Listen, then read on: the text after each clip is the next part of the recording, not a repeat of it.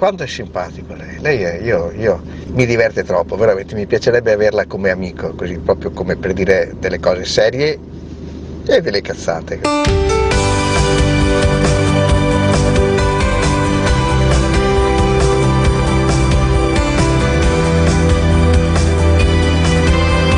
Due di denari, perché i nostri soldi sono una cosa seria. Di Deborah Rosciani e Mauro Meazza.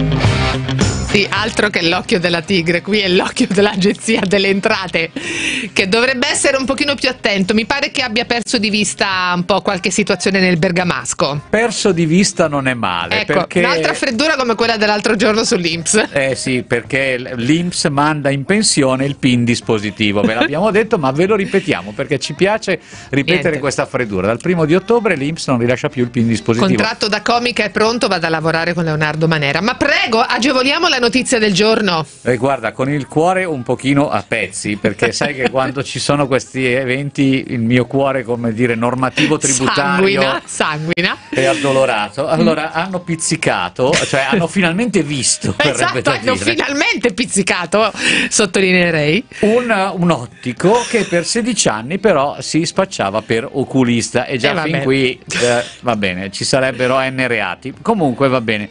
Oltre 2000 visite a 600 e 600 pazienti, ma qui viene Sì. diciamo il clou senza rilasciare fattura. No, aspetta, lui rilasciava tanto di diagnosi, ricette per farmaci, prescriveva esami specialistici e l'onorario previsto per ogni prestazione era un po' flat, 50 euro a visita.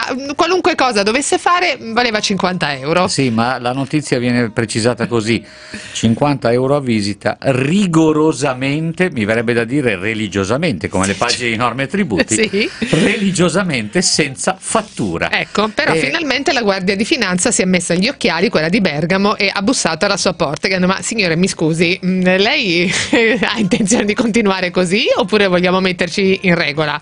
Dunque risulterebbe che tra il 2004 e il 2020 eh, questo eh, signore avrebbe fatto oltre 2000 visite, i pazienti eh, calcolati sono 632 e dal 2008 non risultano a suo carico dichiarazioni Ecco. dei redditi. Allora, va bene la sua scelta di mantenersi anonimo agli occhi del fisco, ma quello che ci stavamo chiedendo con Mauro Meazza prima della partenza della nostra diretta è ma tra queste 2000 persone che lui ha potuto, no, più di 600 pazienti che ha potuto visitare in queste 2000 visite, ma non ce n'era uno che gli ha chiesto la fattura, che si è insospettito di questo comportamento, che avesse un'assicurazione privata con la quale appunto dovesse interagire per scaricare l'importo della visita oculistica, ma È strano. è Insomma, il strano. sistema della connivenza è, è- è curioso, eh? Bisognerebbe, trattandosi di un oculista, vederci chiaro, anzi di un finto oculista. È proprio vero, come ha detto l'ascoltatore, che sei simpatico, Eh, insomma, che lo vorrebbe tanto come amico, ma lo- sei solo amico lo- mio, qua lo- non ti cedo Lo volentieri. ringrazio molto, lo ringrazio molto e assicuro, rassicuro tutti, non è un parente, quindi non, non- non l'ho fatto per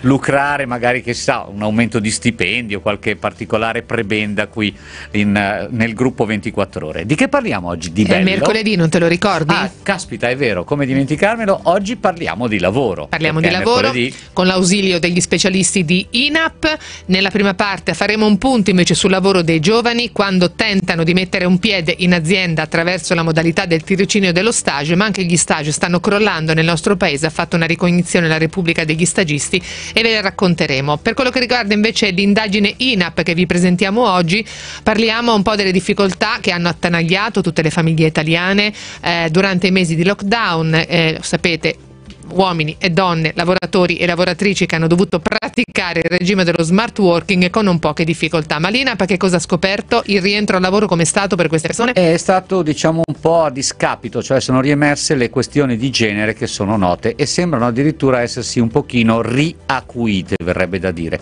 Ma presentiamo in anteprima una ricerca, quindi se volete poi interagire con noi i numeri di telefono sono quelli abituali Oggi, come vi abbiamo detto, parliamo di lavoro in diverse accezioni, 80024 0024 il nostro numero verde, 349 238 6666 è il numero per inviare sms o whatsapp. Dall'altra parte del vetro, vigili e attenti come sempre, Claudia Schiattone e davanti a Claudia, proprio al di là, al di là immediato del vetro e davanti a questa panoplia di tasti e tastini, Gianmarco Ferronato che rende possibile questo miracolo, le nostre voci che vi arrivano in diretta. Abbiamo un GRR, un giornalino radio del risparmio. Ma non solo ce l'abbiamo, parte con una notizia che ti piacerà quasi quanto quello, quella dell'oculista invisibile al non- fisco. non mi è piaciuta. Aveva il mantello di Harry Potter, quello che rende invisibili. Via. E adesso, signore e signori, il giornale radio del risparmio. No, qua, cioè, tu mi stai dicendo che io devo aprire l'Atlante geografico come quello del lavoro di INAP della settimana scorsa e non trovo più le isole Cayman? Ma No, stiamo no, scherzando? no. Allora, aspetta, devi sapere, ci sono tante liste nere, tante, insomma, più liste nere dal punto di vista del fisco. C'è la lista nera nazionale della nostra Agenzia delle Entrate, c'è la lista nera dell'Unione Europea, c'è la lista nera che fa l'Ocse. Poi a volte per darsi un tono si dice che sono blacklist, però la sostanza è la stessa. Allora, che cosa è successo? Che la Unione Europea ha deciso che le isole Cayman, che sono tradizionalmente considerate paradiso fiscale, direi quasi per antonomasia, sono un arcipelago nel Mar dei Caraibi, ecco, non saranno più nella blacklist dell'Unione Europea, quindi non saranno più fiscalmente non cooperative, questo è il giudizio che si dà. Cioè, insomma, se tu chiedi, ma per caso quel finto oculista di cui si parlava, Eh, esatto. non è che aveva dei soldini da voi? Ecco, le Cayman ti rispondono, dice l'Unione Europea, adesso ti rispondono, sono diventati più cooperativi. Invece, invece hanno detto, sempre il Consiglio dell'Unione ha detto, invece Anguilla e Barbados, che erano nella lista nera, ne erano uscite perché si erano mostrate cooperative, adesso ci rientrano perché non si sono comportate bene. Quindi, di nuovo dietro la lavagna, verrebbe da dire, ovviamente una lavagna nera. Tutti i particolari, naturalmente, in cronaca sul Sole 24 Ore di oggi, tra l'altro. Allora, invece volevo raccontarti che l'Inps segnala un nuovo, l'ennesimo tentativo di truffa tramite mail a sua firma e quindi ieri con una comunicazione l'Istituto Nazionale di Previdenza Sociale ha voluto avvisare tutti i suoi utenti di fare attenzione a questa nuova mail di phishing che utilizza il nome IMSS per ingannare i destinatari appunto del messaggio e indurli ad aprire questo file allegato che contiene un agente virale, quindi fate molta attenzione se vi arriva una comunicazione IMSS che eh, come dire vi puzza un po' che può essere un po' anomala. L'oggetto della email, come il nome dell'allegato, precisa proprio l'IMSS in questa nota che richiamavo poco fa, può variare, per cui si invita a diffidare di queste comunicazioni ignorando mail di cui non è possibile accertare l'origine. Non aprite allegati dei quali non avete certezza appunto della provenienza. Cashless, smartphone, pagamenti veloci. Eh, Ci sono delle andati- belle notizie. Ma sai che dovremmo forse trovare anche dei termini nazionali, perché Mm. siamo stati più reattivi del Ah. resto del mondo noi in Italia. E l'ho Vabbè, letto... cashless, eh, meno contante, senza contante, non Sì. utilizziamo il contante. Smartphone è il telefonino, però quello di ultima Furbo, generazione. furbo. Mm. Sì, quello che ti fa fare tante cose, ti fa anche vedere, che so, l'internet, anche il- sentire i podcast di Radio 24, vai sul sito www.radio24.it oppure ti scarichi la app e così puoi sentire due di denari pure non in diretta ma in differita. Ed è gratuito, pensate? È incredibile tutto questo, ma la- al netto di tutta questa generosità, la notizia, e ce l'ha fornita oggi Pierangelo Soldavini dalle pagine Sole 24 Ore, che l'Italia è andata meglio degli altri paesi perché durante l'emergenza della pandemia, il lockdown, le quarantene e così via in tutti i paesi, c'è stata una gelata anche sui pagamenti digitali. I pagamenti digitali sono crollati del 22% nei primi sei mesi del 2020, lo dice McKinsey. In Italia invece le transazioni digitali sono sì calate, ma del 6,3%, quindi un calo che è addirittura inferiore al calo che abbiamo registrato per i consumi. Quindi in un certo senso c'è una aumento di interesse, di curiosità, di utilizzo tale che ha frenato la Certo. caduta. Allora, senti, ieri come sai dal Senato c'è stato il via libera al decreto agosto. Ci sono tante, tante misure dentro, tante riguardano anche il mondo del lavoro, magari adesso pescando di fiore in fiore, come dice Mauro, ve ne daremo alcuna, ma a me ha colpito questa e io vorrei che tu, Mauro, me la spiegassi un po'. Perché? Questo provvedimento ha autorizzato le vendite in liquidazione per tutti gli esercizi non alimentari che abbiano scorte da smaltire a causa del lockdown. Sappiamo che tanti negozi sono stati chiusi, l'abbigliamento, anzi l'abbigliamento poi ad un certo punto ha potuto anche riaprire, soprattutto quello per bambini, ti ricorderai, no? è stata una delle prime Corretto. misure. E, e però insomma tanti sono stati chiusi e quindi ci sono tante eccedenze da, da smaltire. E allora eh, queste scorte da smaltire che si sono arricchite durante il lockdown potranno durare, sono- potranno essere rimesse in vendita appunto con queste vendite in liquidazione, vendite in liquidazione che potranno durare sei settimane e dovranno partire entro 60 giorni dalla fine dello stato di emergenza. Allora, lo stato di emergenza è stato prorogato fino no, Dovrà essere essere prorogato prorogato. fino alla fine di gennaio.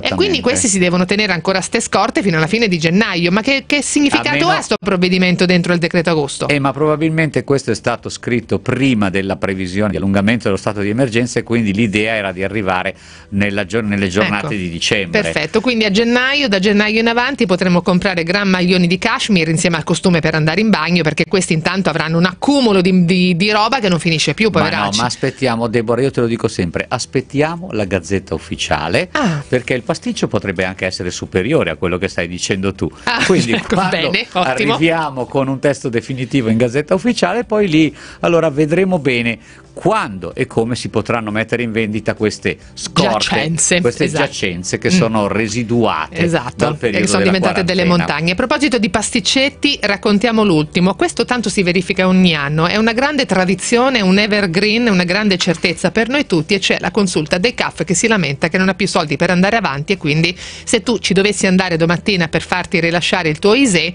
non so se te lo possono fare. Sì, perché come segnaliamo tutti gli anni, e i CAF poi lo segnalano spesso anche qui a due di denari, eh, le mansioni da svolgere aumentano, ad esempio gli ISE, le certificazioni ISE, ma poi le dichiarazioni dei redditi, le varie dichiarazioni, i vari eh, ausili che possono venire dai centri di assistenza fiscale aumentano di anno in anno ed ecco che i CAF lamentano appunto che non ci sono sufficienti risorse.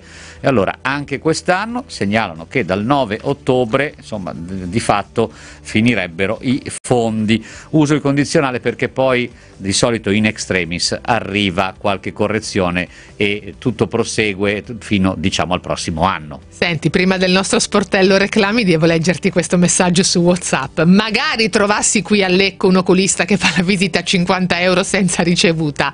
La visita qua costa minimo 120 euro, immagino senza ricevuta lo stesso, ma mannaggia. Vabbè, dillo a due di denari. Dillo a due di denari. Beh, vi racconto la mia esperienza. Mio papà ha richiesto mesi fa, un anno fa circa, un fido pensionato, gliel'hanno concesso solo se faceva un'assicurazione vita che si chiama protezione conto e l'ha fatta 18 euro all'anno. Mio papà a giugno è mancato, ora abbiamo richiesto all'assicurazione di coprire il fido 3.000 euro. Ci hanno risposto che l'assicurazione copriva solo se il contraente avesse avuto un infortunio. Ma mio padre era pensionato. Perché la banca gli ha fatto un'assicurazione? Infortuni e non sulla vita? Ora essendo noi eredi dobbiamo pagare questo fido secondo me è una truffa. Michele da Torino E infatti l'antitrust ogni tanto interviene eh, multando le compagnie, le banche o le finanziarie che erogano prestiti e ci agganciano anche dei- delle, delle formule assicurative che non hanno nessuna pertinenza con il finanziamento erogato. L'ultima in ordine di tempo è stata la multa inflitta dall'antitrust a Compass proprio per aver fatto esattamente quello che ha raccontato l'ascoltatore.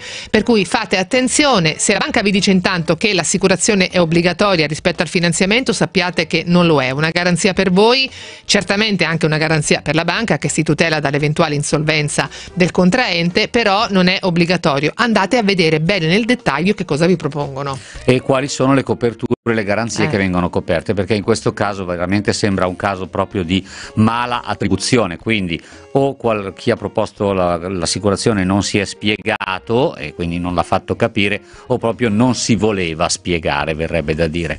Spiace perché purtroppo poi queste cose aumentano la diffidenza di cui abbiamo parlato ieri Bravo. nella nostra puntata di Alfabeto del risparmio, che potete ritrovare, guarda un po', sempre sul sito di Radio 24, nella nostra sezione. E adesso... Apriamo, apriamo con il lavoro e sentiamo un po' come se la passano i ragazzi.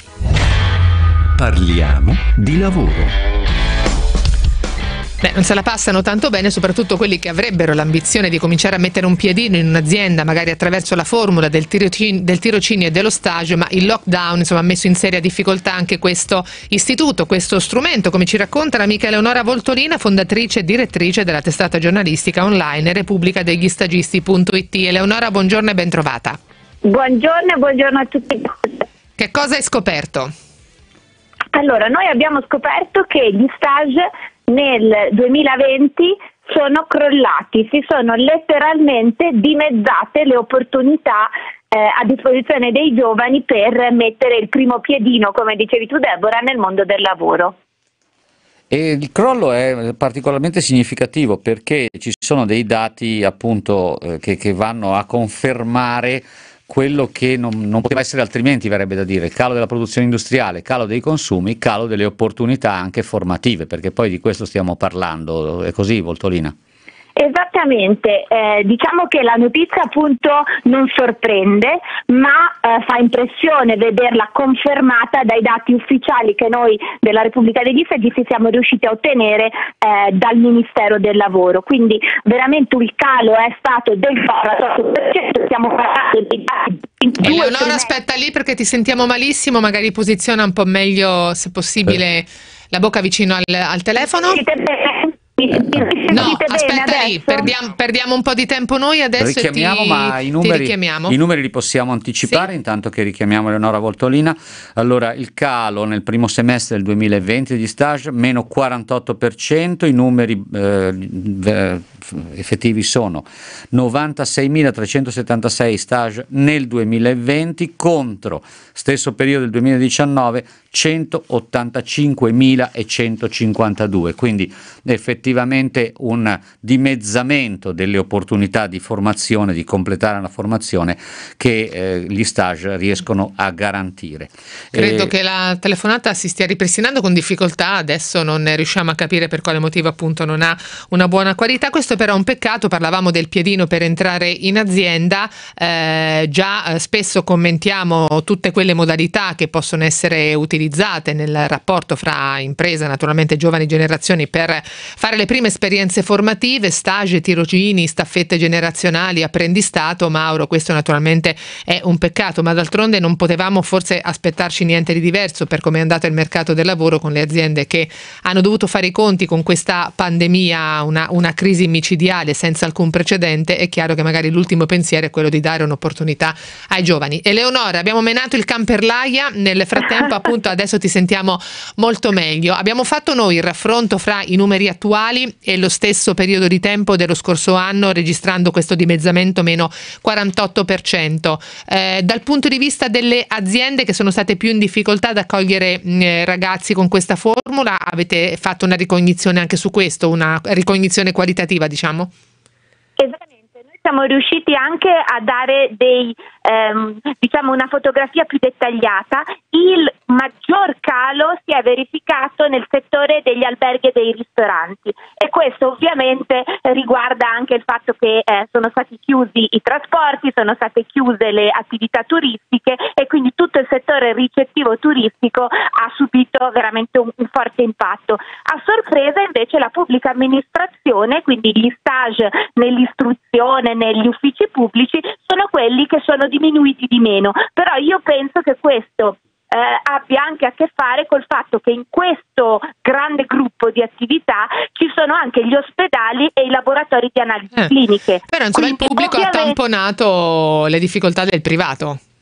Un pochino. Poi altri dati interessanti sono che a livello anagrafico eh, questo calo è tra virgolette democratico, cioè non c'è un calo maggiore tra eh, le opportunità per i giovanissimi oppure per i giovani oppure per i più grandi, però noi pensiamo che sia interessante eh, far notare che c'è un, un piccolo calo delle opportunità per le donne, quindi per le stagiste femmine, e un, invece un, un 4% in meno di opportunità per le donne di fare stage e un 4% in più per gli uomini. Ora, siccome il tirocinio è sempre stato uno strumento che è riuscito a eh, sfuggire a quelle discriminazioni di genere che invece affliggono il resto del mercato del lavoro e quindi anche un po' a sorpresa negli anni noi abbiamo verificato che le opportunità per gli stagisti erano giuste giuste sempre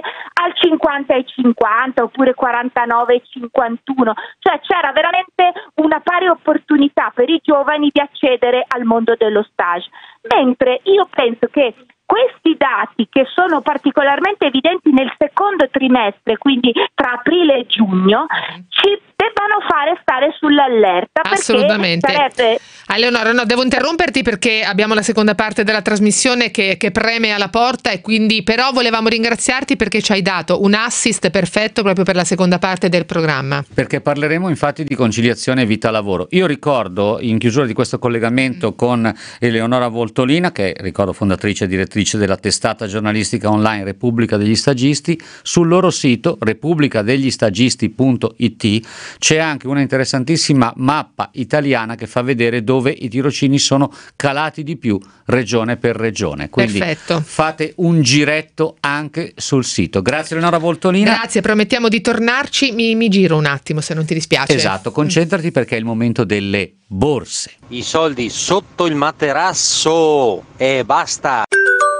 Stress da vita complicata? Ansiolev, l'alternativa dalla natura. Ansiolev, l'integratore alimentare di Specchiasol per ridurre la tensione e ritrovare calma e serenità. Chiedi Ansiolev in compresse e gocce presso la tua farmacia, parafarmacia ed erboristeria.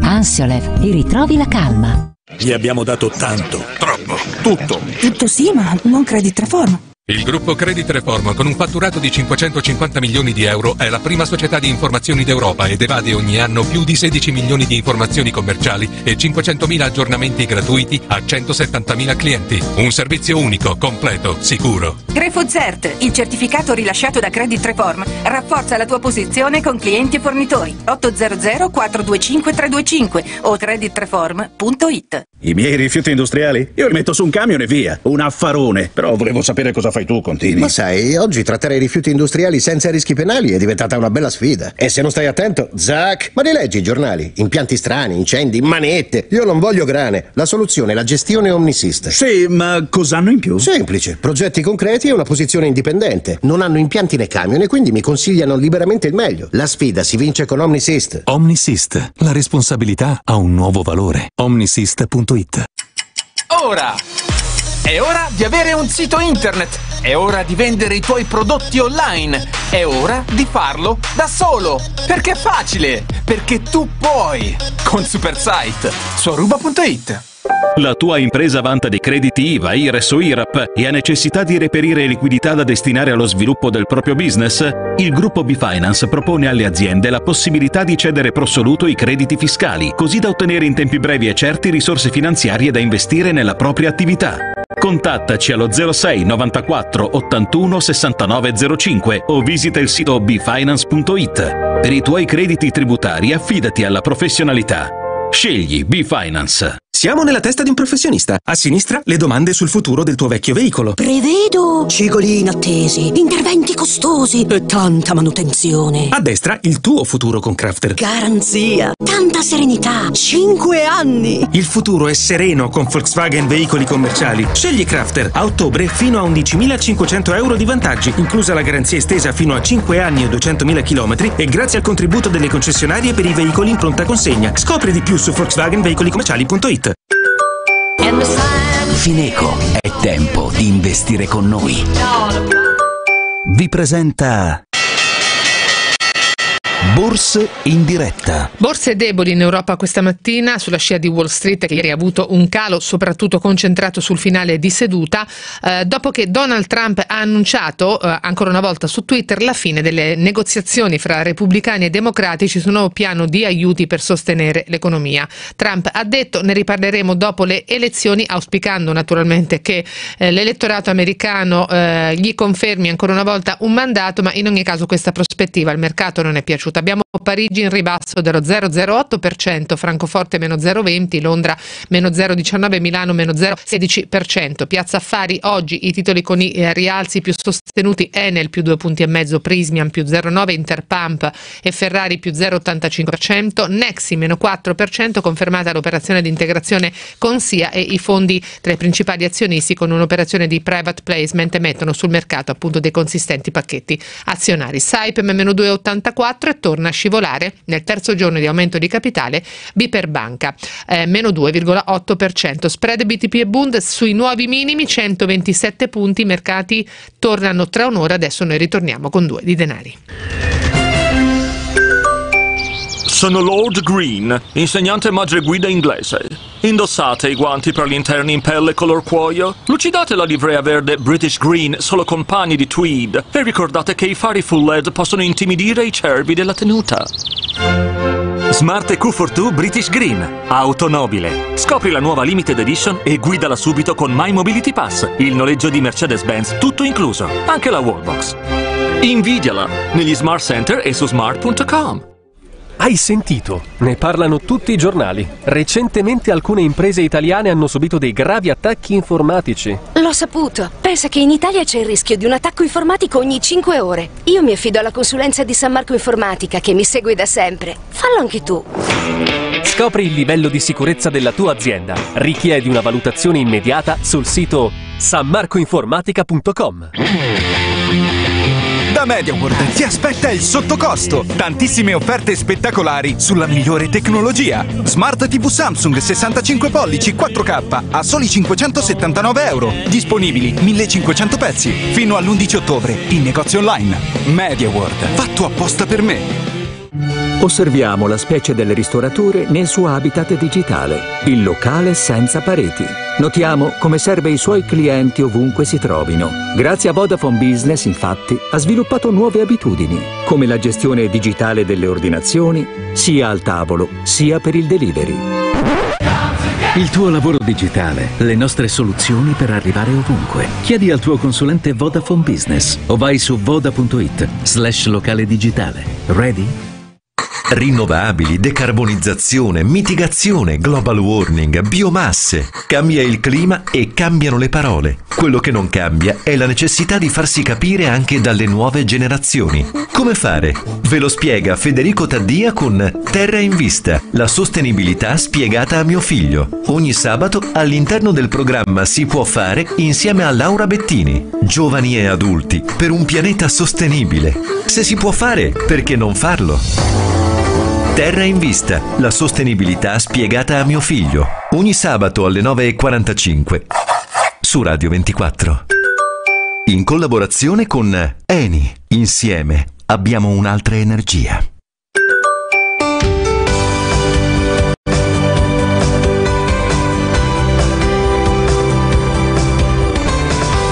Due di denari.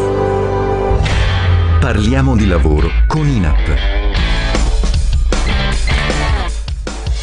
Parliamo di lavoro con INAP come ogni mercoledì ormai perché è un appuntamento che già abbiamo presentato in diverse occasioni. Quest'oggi parliamo di conciliazione vita-lavoro e devo dire che come ha segnalato Deborah prima dell'aggiornamento dai mercati finanziari, la prima parte della trasmissione ci ha dato un assist fantastico, non l'avevamo preparato ma forse se l'avessimo preparato non sarebbe uscito così bene, bene. viene da dire, perché?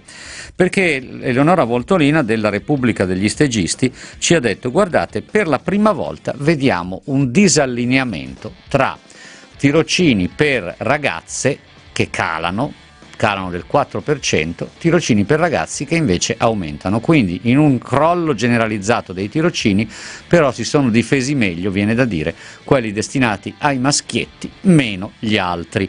Siccome parliamo di conciliazione vita-lavoro, Ai tempi del Covid. E ai tempi del Covid e appena finita la quarantena, per- perché abbiamo l'opportunità di presentare in anteprima, cara Deborah, ben due ricerche che si stanno ultimando proprio in sede all'Istituto Nazionale per l'Analisi delle Politiche Pubbliche. Allora sottoponiamo questo dato subito a, un- a due esperti. In particolare do il benvenuto a Valentina Cardinali, ricercatrice INAP, che è responsabile del gruppo di ricerca prospettiva di genere nel mercato del lavoro e nelle politiche pubbliche. Quindi diciamo che più in tema di così non riuscivamo, dottoressa Cardinali. Buongiorno e benvenuta. Buongiorno, grazie a voi. Allora, la vostra ricerca ah, sta analizzando, perché ancora non è ultimata, credo che sarà ultimata per la fine del mese di ottobre, giusto? Sì, esatto. La vostra ricerca sta analizzando che cosa è successo quando, diciamo così, ci hanno liberati dal lockdown, quando è finita la quarantena, il confinamento obbligatorio e siamo tornati magari parzialmente, magari non tutti, al lavoro, ai posti di lavoro. Cosa è successo dal punto di vista della conciliazione vita-lavoro, delle questioni di genere, donne, uomini, come sono andati i meccanismi, che cosa sta emergendo? Sì, dunque, un periodo questo abbastanza delicato. Abbiamo voluto posizionare la ricerca proprio nel periodo più difficile, quando parte qualcosa che si sa dove inizia e non si sa dove va a finire sostanzialmente.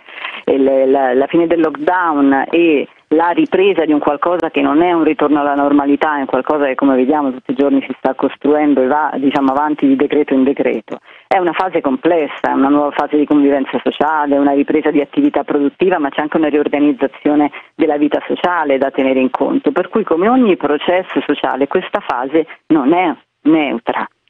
Ha ricadute diverse su uomini e donne, un po' come tutti i processi sociali, per come sono vissuti, interpretati e ricevuti dalle diverse categorie di destinatari.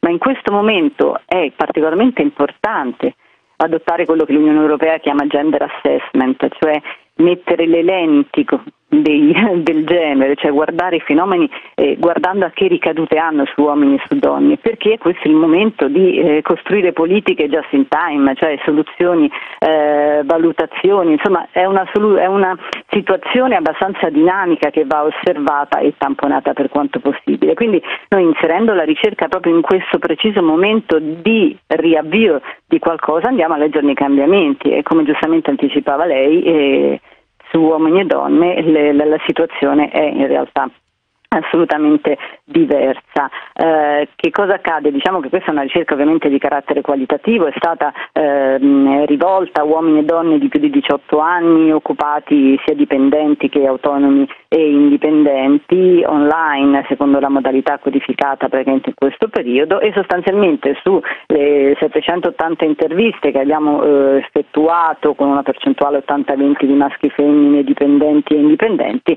che cosa è venuto fuori? Le prime eh, diciamo, anticipazioni di quello che, come ricordava lei, sarà un rapporto disponibile a breve.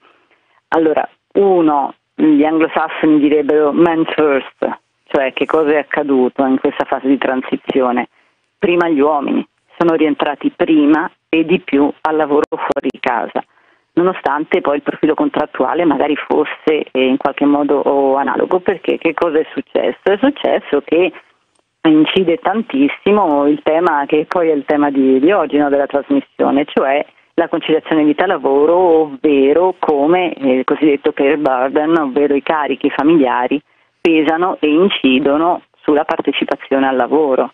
Perché noi Posso- spesso diciamo, scusi la interrompo ma solo per Prego. precisare, questo care burden eh, non è solo la cura dei figli, ma comprendiamo anche ad esempio la cura dei genitori, la cura dei congiunti che possono essere bisognosi di assistenza. Da cui deriva il concetto della generazione sandwich, nella quale ci troviamo un po' tutti questi, eh, noi a questo consesso di questa mattina, ritengo, dottoressa Assolut- Cardinali. Sì. Assolutamente sì, benvenuti nella generazione Eh, sì. sandwich che comprende tutti, ma prevalentemente le donne tra i 35 e i 45 fino ai 54 più o meno, in cui proprio effettivamente come un, un panino siamo schiacciati dal lavoro di cura e assistenza a figli da un lato, anziani o bisognosi dall'altro, una compressione che a volte è simultanea. E questo avviene solo sul panino femmina, il panino maschio ha una componente, diciamo, ha un effetto eh, diverso. Ma perché è importante questo che eh, lei stava ricordando? Perché eh, il care burden quindi i carichi familiari sono uno dei fattori che determinano l'attuale configurazione nel mercato del, del lavoro,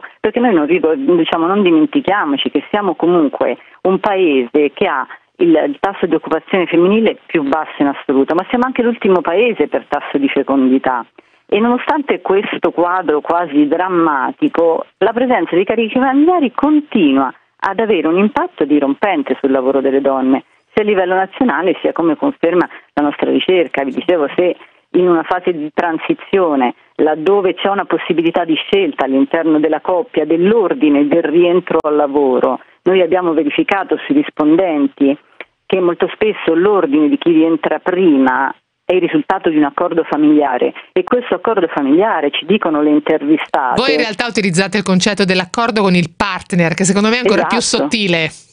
Esatto. Eh perché eh, diciamo che da un punto di vista proprio metodologico noi abbiamo intervistato sia uomini che donne facendo rispondere a loro su quello che è il loro vissuto personale e su quello che è il loro vissuto di coppia. Quindi abbiamo incrociato effettivamente come la percezione di uomini e donne rispetto a questo tema e il vissuto di uomini e donne rispetto a questo tema in questo periodo di transizione si stia sviluppando. E purtroppo da questi incroci è venuto fuori che i risultati relativi sia ai rispondenti maschi che ai partner maschi sono eh, similari idem per le, mm, la questione diciamo, di genere femminile. E questo che vuol dire? Eh, come dicevo, insomma, nel momento in cui c'è da fare una scelta, chi ritorna a lavorare fuori casa e chi resta a casa ad occuparsi del carico familiare, uno o plurimo come vogliamo definirlo, sono prevalentemente le donne. C'è anche un altro grande convitato di pietra in questa conversazione, dottoressa Cardinali, le do l'assist per continuare dopo la nostra pausa, che anche lo stipendio, se ce n'è uno che ah, pesa sì. di più, è quello che naturalmente ha la prevalenza. Anche chi torna al lavoro, quello che guadagna di più. E guarda caso un po' chi è, quasi sempre. Non capisco perché mi guardi così eh. fissamente. Adesso faremo subito una verifica, parliamo con l'ufficio personale. Intanto saluto, chiedo un attimo di pazienza pazienza anche al dottor Alessandro Rizzo che è pure in collegamento con noi, ricercatore INAP anche lui, lo sentiremo nella seconda parte, nell'ultima parte della trasmissione, prima c'è il traffico. Prendete i mezzi, fate il, car- il carpooling, basta che non mi intasate la tangenziale con le vostre macchine. Logica, spazio, tempo, modul block, l'evoluzione del magazzino. Vi presenta Strade in diretta un rinnovato saluto dalla nostra redazione. Per lavori si procede in colonnati a tratti sulla 14 Bologna-Taranto tra Roseto degli Abruzzi e Giulianova verso Bologna e tra Grotta Mare e Roseto degli Abruzzi verso Taranto. Code per lavori sulla Firenze-Pisa-Livorno nei pressi di San Miniato Basso verso Firenze. Si rallenta con code a tratti per lavori sulla 26 Genova-Gravellona-Toce tra Ovada e il Bivia 10 nelle due direzioni. Sulla 9 Milano-Como code per lavori ancora tra Lago di Como e Como Monte Olimpino in direzione Milano e verso Chiasso tra la barriera di Como Grandate e Como Monte Olimpino. Per ora è tutto, strada in diretta torna tra un'ora più tardi.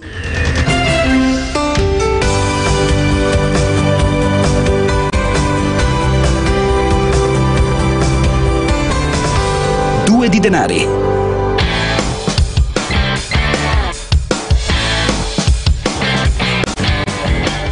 Stiamo parlando di conciliazione vita-lavoro con INAP, perché è lo spazio Parliamo di lavoro con INAP, l'Istituto Nazionale per l'Analisi delle Politiche Pubbliche, e ne stiamo ragionando eh, basandoci su due ricerche che ancora non sono concluse, quindi vi stiamo anche dando insomma, delle indicazioni in anteprima. Ci aiutano eh, la responsabile di un gruppo di ricerca proprio sulle prospettive di genere, la dottoressa Valentina Cardinali, collegato con noi, gli do il benvenuto e gli chiedo ancora un attimo di pazienza pazienza. Il dottor Alessandro Rizzo, pure ricercatore INAP, sempre nella struttura lavoro e professioni. Buongiorno dottor Rizzo, grazie della sua pazienza. Buongiorno, d'accordo. Aspetto silenziosamente. Da, d'altra parte, anche per galanteria, visto che stiamo parlando di conciliazione vita-lavoro, almeno un po' di galanteria, quindi la precedenza alle donne è dovuta. Però mi interessava riprendere, Deborah, questo spunto che tu hai dato proprio in chiusura. Le dinamiche retributive continuano a essere spostate a favore degli uomini, ma questo, dottoressa Cardinali, perché c'è un problema normativo? Abbiamo bisogno di qualche ulteriore spinta, restyling di leggi, di applicativi normativi e qualcosa del genere? Eh, assolutamente no, noi siamo un paese eh, in prima linea per quanto riguarda la, l'apparato normativo. Eh, nello specifico dei differenziali retributivi di genere un tema che ci porterebbe lontano, lontanissimo, però ha una sua attinenza con il tema della conciliazione vita-lavoro. Il differenziale retributivo si forma in tante parti della vita professionale, per cui non basta una legge che dice non bisogna effettuare disparità retributiva, no? perché eh, non, la legge non serve, bisogna andare a vedere le dinamiche. Molto spesso in che modo la, la conciliazione vita-lavoro squilibrata, diciamo così, tra uomini e donne incide poi sul, eh, sullo stipendio sulla retribuzione finale e incide perché eh, si sa che statisticamente le donne lavorano meno ore e molto probabilmente anche per esigenze di conciliazione, quindi meno ore lavorate, meno monte salariale. Queste meno ore lavorate non, non derivano solamente dai tanti contratti part-time, ma anche dal semplice fatto che nell'orario di lavoro fanno meno straordinari e hanno meno permanenza al lavoro perché le esigenze di conciliazione che culturalmente e organizzativamente sono ancora a carico prevalentemente femminile non premiano quel concetto di fedeltà aziendale legata alla presenza che è ancora purtroppo tipico di una cultura organizzativa eh, come la nostra. Per cui sostanzialmente rivedere in prospettiva il concetto di conciliazione, ragionare seriamente sul tema della condivisione non solo da un punto di vista proprio culturale ma da un punto di vista di misure e di politiche potrebbe portarci un passo in avanti per risolvere sia i problemi di partecipazione al mercato del lavoro delle donne, quindi più occupazione, sia per una più equa distribuzione reddituale e salariale da questo punto di vista, sia molto probabilmente anche una migliore qualità della, della vita sociale rispetto a una divisione più paritaria. Dottoressa e, Cardinali, per concludere con un flash, se ce la facciamo, queste tematiche ci piacciono, torneremo ad invitarla molto volentieri. Lo smart working che diventasse strutturale, finirà questa emergenza prima o poi, anche questo strumento è stato utilizzato in regime di emergenza, diciamo così, diventasse strutturale come prassi di rapporto di lavoro consolidata, potrebbe contribuire a livellare definitivamente i livelli degli stipendi? Eh, ci vuole tutta una riflessione molto seria e molto non affidata agli slogan rispetto a questo tema, che è una questione importante rispetto a quello che eh, stiamo trattando oggi, ad esempio il tema della conciliazione vita-lavoro. La sconfitta più grande sarebbe immaginare un'adozione a regime dello smart working come strumento di conciliazione perché sarebbe l'ennesima gabbia e segregazione per le donne che si ritroverebbero di nuovo ad assumere l'onere che già hanno del lavoro non retribuito in più all'interno di un orario di lavoro che non, non esercitano neanche in ufficio ma dentro la propria abitazione. Quindi ci vuole molta attenzione rispetto a, far passare il messaggio giusto. Lo smart working può essere una grande prospettiva da un punto di vista per migliorare l'organizzazione, per migliorare il management per qualità e non per, eh, diciamo, per eh, computato sulla semplice presenza in ufficio, ma attenzione a non immaginarlo come una soluzione facile che eh, rilasci di nuovo le, le, la divisione del lavoro di, di cura, eh, quindi a carico certo. delle donne e non distingua più tra retribuito e non retribuito. Sarebbe un fallimento proprio delle politiche economiche di questo Paese. Allora, chiudiamo con un'altra ricerca, Deborah, perché la ricerca curata dalla dottoressa Cardinali è il lavoro di uomini e donne in tempo di Covid, una prospettiva di genere, prospettiva che abbiamo visto non essere purtroppo così rosea. Un'altra ricerca è invece le policy di contrasto all'emergenza e di sostegno alla ripresa una prospettiva di genere, ma la cosa interessante è che è in chiave europea. Eh, quindi, dottor Rizzo, da questo confronto che è tuttora in corso, cosa sta emergendo? Allora sì, esatto, appunto, abbiamo cercato di capire già a partire dai, dalle primissime battute, quindi da marzo in poi, che cosa eh, appunto, i vari paesi eh, all'interno dell'Unione Europea hanno fatto per tentare di contrastare l'emergenza del Covid.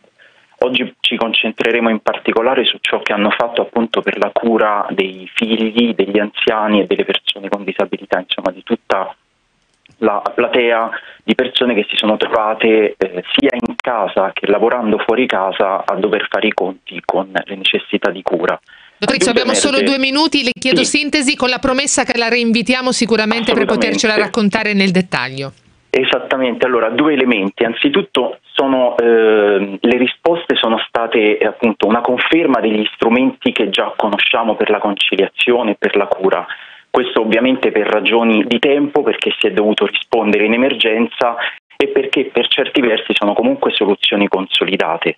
Eh, quindi eh, le risposte sono state sostanzialmente congedi, eh, la possibilità di avere dei congedi dal lavoro eh, variamente retribuiti, una gamma che va dal 60 all'80% della retribuzione, questo sia per curare appunto i figli che eh, le persone che si sono trovate appunto ad avere a che fare con la gestione delle, della cura delle persone anziane e delle persone con disabilità. Ovviamente il panorama europeo è molto diversificato per quanto riguarda i regimi di welfare, la cultura di genere di ciascun paese e lo stato delle finanze. Quindi sostanzialmente abbiamo avuto appunto risposte tempestive e si tratta di capire poi ovviamente che cosa è successo eh, concretamente, se queste risposte poi sono state efficaci effettivamente, in che misura all'interno dei nuclei familiari, quindi nella vita concreta. Precisissimo.